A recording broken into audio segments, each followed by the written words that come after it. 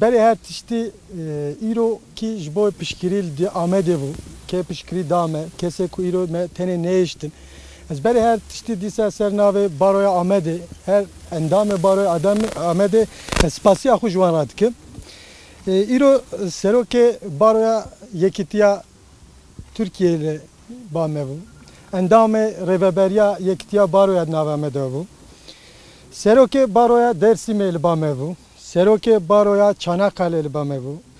Serokê Baroya İzmirê, Antalyayê, Ankara'yı, Kocaeli, Tekirdağ, Zonguldak, Batman, Mardin, Ağrı, Adıyaman, Bingöl, Şanlıurfa, Van, Muş, Şırnak, Serokê wan nav me davûn, bame bûn.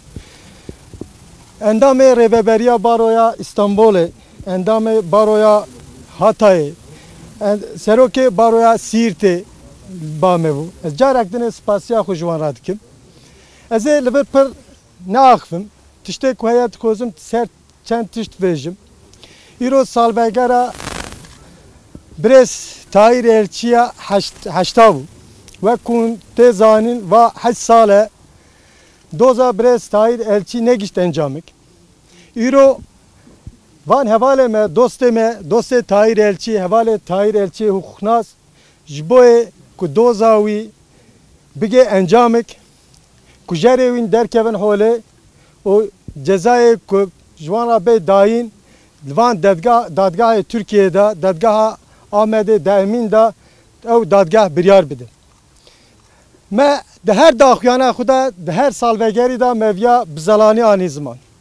Heta ku kujerê Tahîr Elçî dernekevin holê em vî dozî bernadin. Kujerê Tahîr Elçî ku derketin holê jî em Tahîr Elçî ji bîr nakin. Tevayê gelê Kurd, gelê Türk, gelê rojhilata navîn viya pir baş zanin ku Tahîr Elçî di nav ser vî axî ji bo mafê tevayî mirovatiya xebat dikir. Ji bo wan doza xwe dimeşand.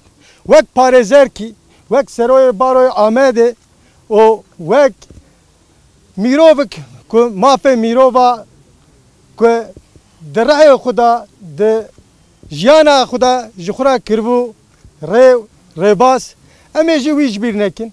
Em carek dinê dibên Tahîr Elçî ew ê ne ji bîr kirin heta ku em û em hukuknasê ku îro li vir top bûne heta ku jiyanê dabin همه دو زاوی بشوین از جارک دنه هم و چاپمنی از سپاس کم که ایرو اونجی بمرابون وجی پشکری دامه او خبات کشی خبات گرینگه و جارا دنک هم حقناس ایرو کلبون و هم جی ایرو جی هنک پارتیا برپرسیار وان پارتیا وکیل وان پارتیا جی دناو مدابون اجوان راجی سپاسید کم اتخوزم هم او berpirsyarê wan partiyan e îro li vir biaxivin û dîsa baroyê ku ji Rojava Türkiye hatine pişkiri dane me et xozum ew jî hinek tişbînin ziman carkadine spasiya we Sevgili arkadaşlar, değerli basın emekçileri, burada bulunan